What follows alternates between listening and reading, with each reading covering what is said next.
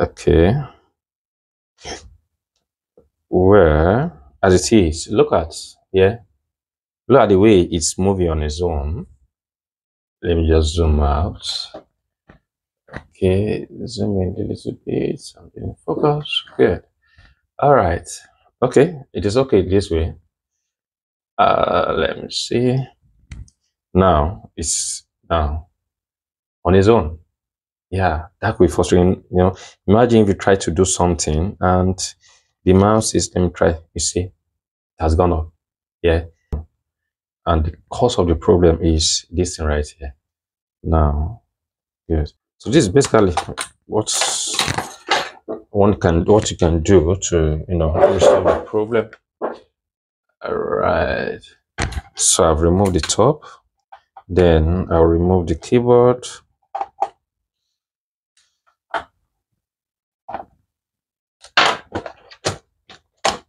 Yep.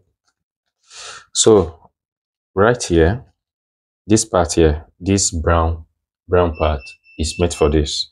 So what I will do is just to get a tape. Yeah, this tape is to insulate that part so that this part will not make a contact with um yes yeah will not make a this part yeah will not make a contact inside so that is what i'm going to do so i'm going to take this a bit. But why do you have to be careful not to cover this because this right here is for the keyboard itself.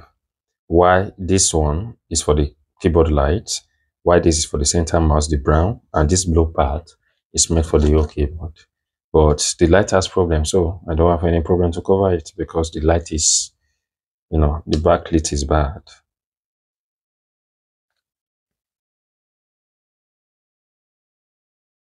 think i need to cut i need to cut this one off. Yeah. Okay this can work.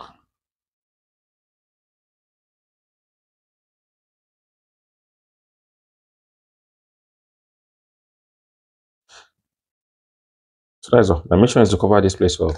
That is all. So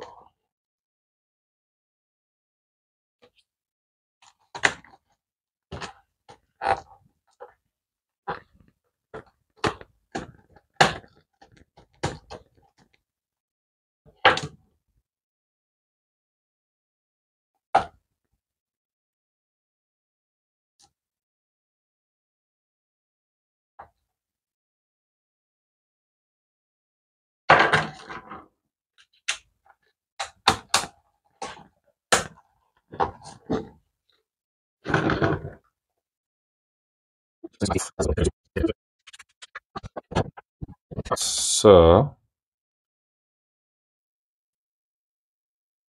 all right. Yeah. So i'm trying to do this. Yeah. You know it does not because it has been disabled. Okay this g is pressing but yeah yeah. It has been disabled. So that is it.